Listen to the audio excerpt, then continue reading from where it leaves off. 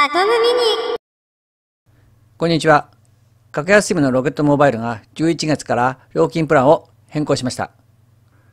例えば、低速 200kbps 使い放題で通信料金が税込1048円という紙プランは11月から税込490円となります。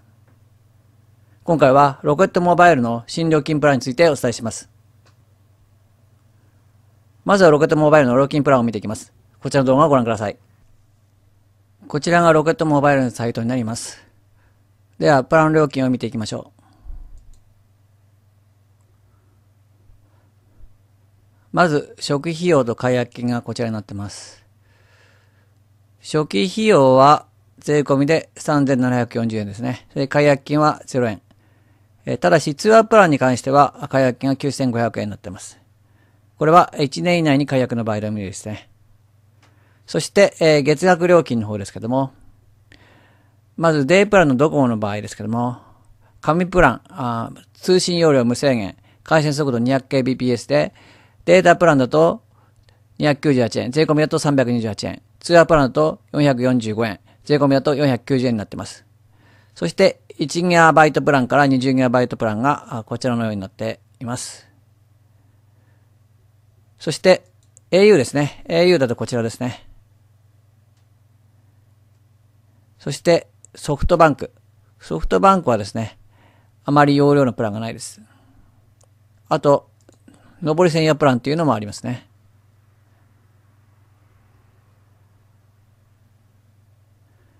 高速データの通信チャージに関しては、容量 100MB あたり、料金は150円、税込みだと165円。そして SMS オプションですけども、デイプランのドコモの場合は150円、税込みだと165円。そして au のプランですね。その場合は SMS 基本料は0円になってます。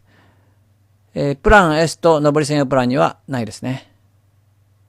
そして通話料金ですけども、国内通話料が30秒20円、税込みだと22円です。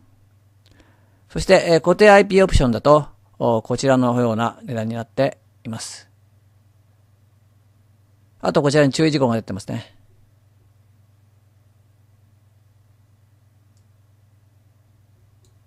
以上です。いかがでしたでしょうか？ロケットモバイル、思い切って料金値下げに踏み切ってきましたね。ネットで動画などのデータが深い重いことをしないなら 200kbps でもいいかもしれません。ただ、200kbps だと画像のダウンロードでさえかなり時間がかかりますので、実際に体験してみて、もし不満を感じたら別のプランに移行した方がいいと思いますけどね。今回のロケットモバイルの新プラン、もし興味がありましたら検討してみてはどうでしょう。今回の動画はこれでおしまいです。ご視聴ありがとうございました。